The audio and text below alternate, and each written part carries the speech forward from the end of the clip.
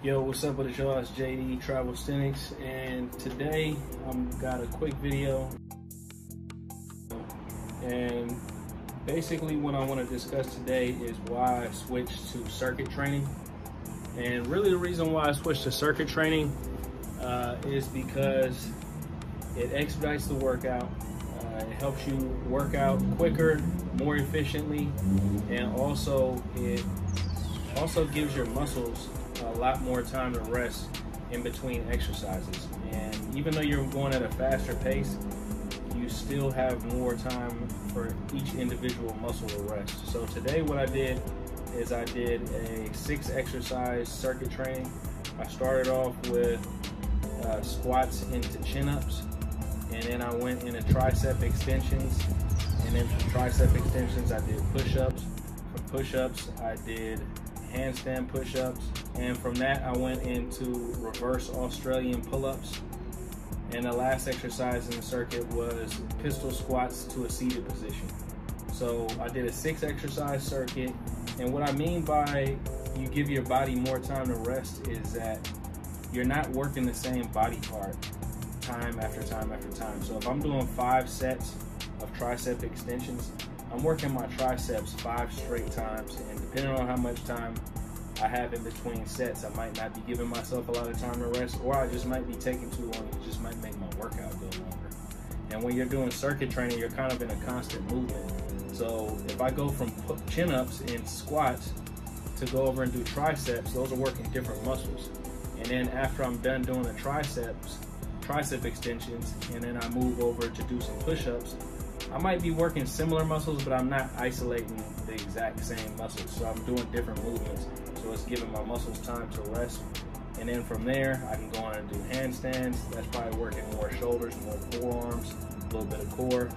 And then from there, I'm going to do uh, reverse Australian pull-ups, which is working primarily back, shoulders. And then from there, I'm doing another leg exercise with the pistol squats. And in, in between each circuit, I can take a little bit of a break. And what I found out is I actually don't even need too big of a break in between the circuit training. So uh, I think circuit training is a very good form of training. Uh, I did six exercises and I did that really quick. It probably took me, I'm not even sure exactly how long it took. I want to say about 40 minutes to finish that circuit. And then uh, what I ended up doing is I kept doing more pull-ups to squats, or actually chin-ups, squats to chin-ups, and and then I did two other circuit exercises. Not necessarily, I wouldn't necessarily. I mean, I guess you can call it a circuit training because I was doing three different exercises uh, non-stop intermittently. I was doing uh, squats to chin-ups, and then I went and did some reverse grip push-ups, and then I went and did front lever raises. So I did some front lever raises for the abs. I did some reverse grip chin-ups for the forearms, for the biceps, for the chest, and then I finished up doing those legs and uh, and the chin-ups for the biceps and that. But yeah, so that's that's pretty much all I wanted to talk about today. Uh, you might want to give circuit training a try. I definitely feel like it's a, good way to expedite your workouts. Also improve your cardio while you're doing calisthenics and also it just gives your muscles more time to relax in between exercises.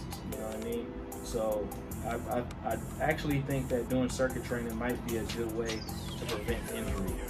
And if you already do circuit training, let me know how that's working for you in the comment section.